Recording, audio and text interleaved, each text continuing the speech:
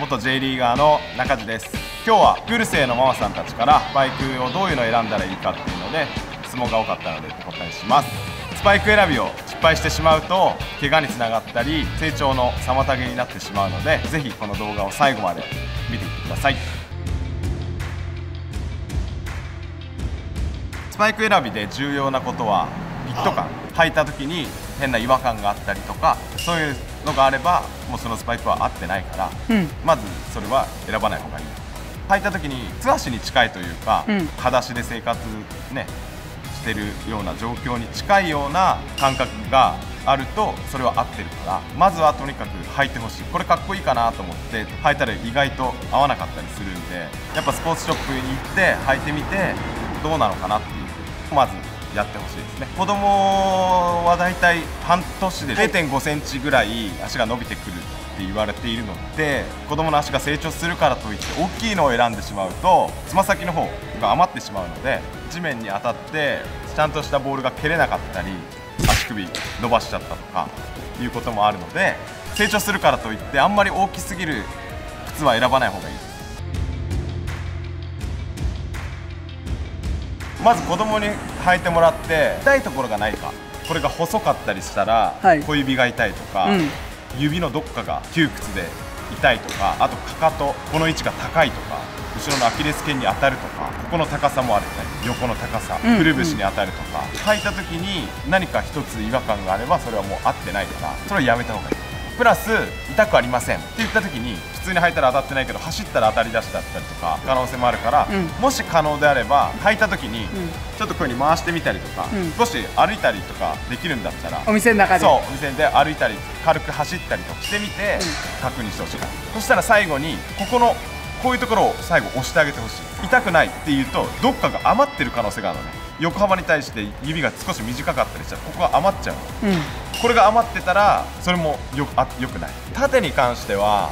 もうどうやっても詰めれないから、うん、ちゃんと奥までいけてるかはすごく大事。横に関してちょっときついっていうのは皮なんで最悪伸びてくれるから、うん、少しは緩和される。大きいのは選んじゃダメ。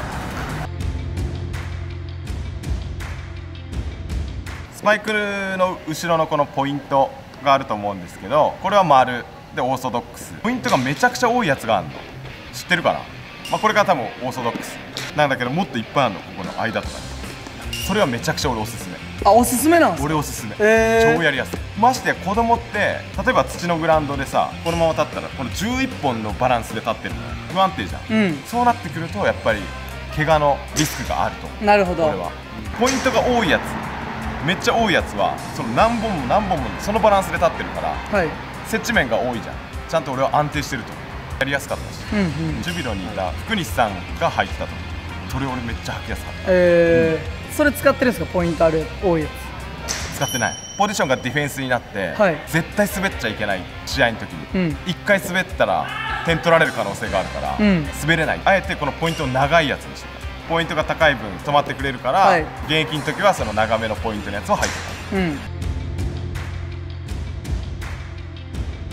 値段が上がれば上がるほどいい革になってきて伸びやすい。けど伸びすぎちゃうと逆に今度ゆるゆるになっちゃうんで革選びっていうところも一つ重要かな。いい革すぎるとどんどん伸びちゃって、うん、フィット感っていうのがなくなってきちゃったからこれはそこまである程度は伸びるけど伸びすぎないっていうのを選んで買ってたどんな革使ってるかって出てるから店頭とかにも書いてあるし。あもう商品のところの説明で書いてる、説明に書いてあるからそれで、えーと、と大体わかると思う。いろいろあると思うんですけど、うん、おすすめとかってあったりします？おすすめはもうプーマ自分に合うメーカーが一番いいとは思うんだけど、はい、俺はずっと子供の心合うのがプーマだった。プロサッカー選手になってもプーマだったし常に自分の足に合ってたのがプーマでしたね。プーマ足だったね。プーマ足。プーマ足。結論はもうとにかく足に合うってことが一番大事なので、はい、しっかり履いて、えー、痛くない、うん、自分に合ってるなっていうところをまず確認してでサイズを大きいのを選びすぎない、はい。うん、子供の頃成長するからっつって1センチ2センチ大きいの履いちゃうと怪我につながることが多いので、はい、しっっかり自分に合ったものを選んで入ってもらえれば、うん、いいと思います。はいわかりました、はい、ありがとうございます、はい、ありがとうございます